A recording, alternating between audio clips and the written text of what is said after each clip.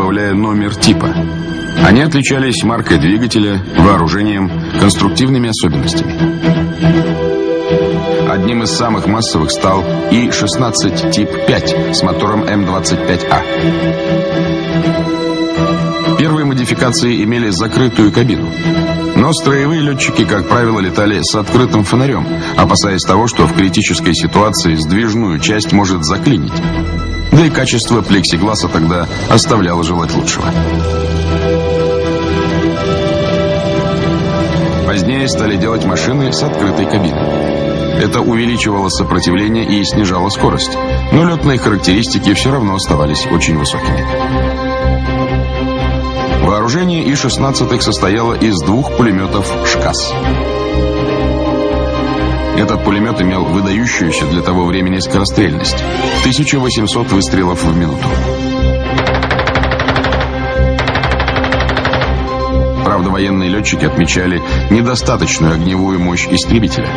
Поэтому Поликарпов предложил И-16 вооруженные пушками в дополнение к имеющимся пулеметам. В крыле установили две 20-миллиметровые пушки. И-16 тип 12 стал первым советским серийным истребителем с пушечным вооружением. Пушечные варианты Ишачка, как ласково называли И-16, предназначались прежде всего для борьбы с бомбардировщиками. Использовались они и для штурмовых действий.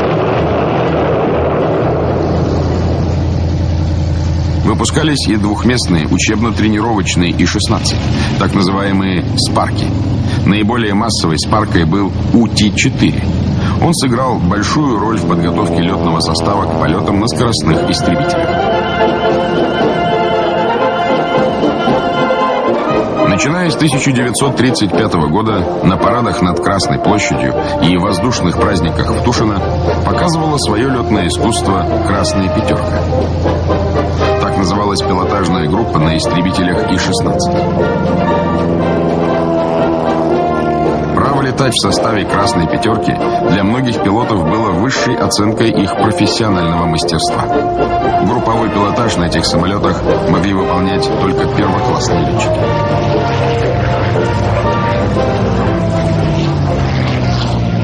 А что же конкуренты И-16?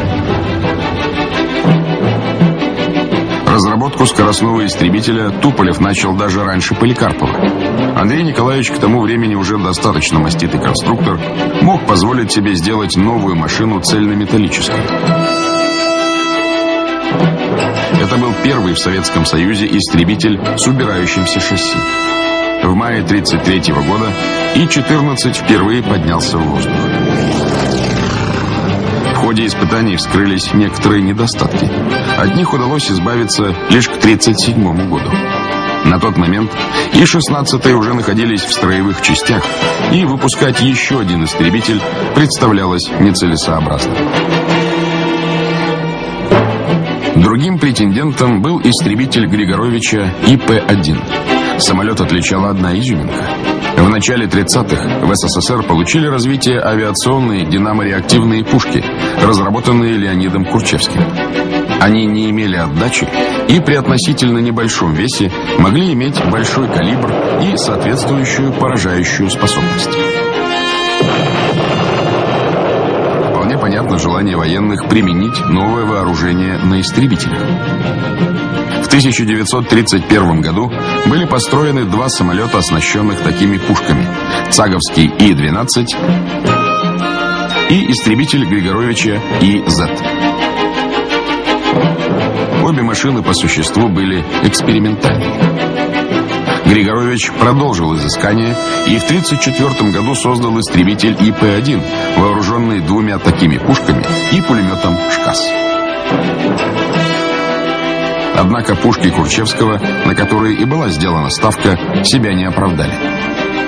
От них отказались ввиду их малой эффективности и повышенного аэродинамического сопротивления. Да и по многим другим характеристикам ИП-1 уступал И-16. Тема была закрыта.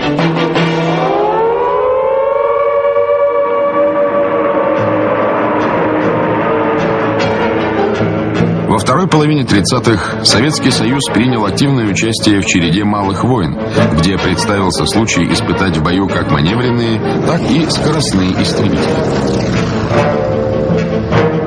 Осенью 1936 года началась гражданская война в Испании. На помощь республиканцам отправились советские добровольцы. СССР поставил туда и военную технику. Именно там, в испанском небе, бипланы И-15 столкнулись с самолетами франкистов. Боевые возможности Чатас, Курносова, как называли И-15 испанцы, оказались гораздо выше, чем у истребителей противника.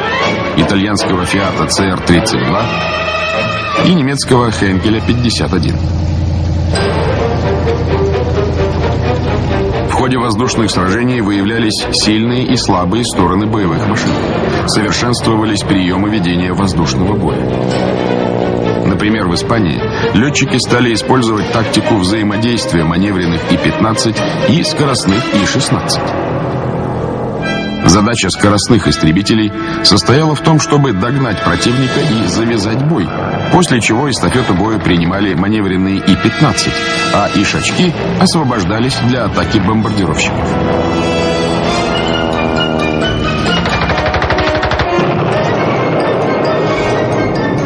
И-16 появился в Испании в 1937 году. Именно тогда и произошли первые в истории авиации воздушные бои между скоростными монопланами. Советскому истребителю противостоял немецкий Мессершмитт-109. Для истребительной авиации этот цельнометаллический самолет представлял собой новое слово. В нем были реализованы практически все атрибуты скоростного моноплана – повышенная удельная нагрузка на крыло, убирающееся шасси, закрытая кабина пилота. В отличие от И-16, на Ме-109 стоял мотор жидкостного охлаждения. У такого двигателя меньшее поперечное сечение, и за счет этого истребитель имеет более обтекаемую форму. Боевые действия показали, что по скорости месье Шмидт не имел больших преимуществ перед И-16 и уступал ему в скороподъемности и вооружении. В целом же, по своей боевой эффективности, обе машины оказались близки, и успех зависел часто от искусства летчика и тактики ведения боя. Установка на следующий вариант Мессершмитта нового двигателя мощностью 1000 лошадиных сил обеспечила резкое улучшение всех его летных данных. Скорость модернизированного Ме-109Е возросла до 550 км в час. Но этим самолетам почти не пришлось воевать в небе Испании. 1 апреля 1939 года гражданская война в этой стране закончилась. На тот момент Ме-109Е по своим боевым качествам не имел себе равных.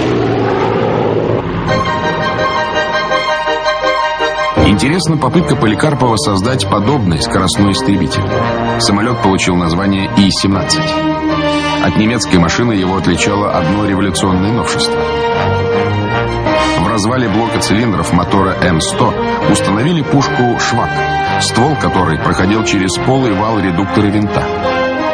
Такое размещение вооружения имело важное преимущество и впервые было применено на отечественном истребителе. Центральной пушке не требовался синхронизатор, и темп ее стрельбы был выше. И-17 вышел на испытание в 1935 году. Из-за ряда сложностей они затянулись, и в 1939 году Наркомат авиационной промышленности признал самолет морально устаревшим. В поисках путей снижения лобового сопротивления попробовали реализовать и другую идею – убрать из воздушного потока радиатор. Такие проекты рассматривались разными КБ. В Центральном конструкторском бюро Ильюшина создали истребитель И-21. Радиатором на этой машине служила поверхность центроплана. Нагретая мотором вода, а вернее водяной пар, соприкасаясь изнутри с этой поверхностью, охлаждался и снова поступал к двигателю. Впервые в СССР такую систему охлаждения реализовал на самолете «Сталь-6» советский конструктор итальянского происхождения Роберто Бартини. В 1933 году эта экспериментальная машина достигла феноменальной для того времени скорости – 420 км в час. Однако очень скоро стало понятно, что паровая система охлаждения из-за высокой уязвимости не подходит для боевого самолета. И тема Ильюшина